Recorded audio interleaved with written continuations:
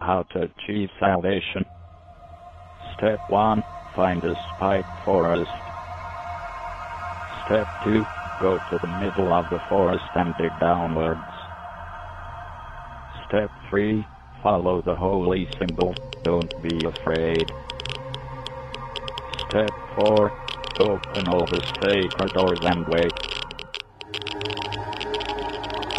Get down on your knees and receive a gift from our forefathers.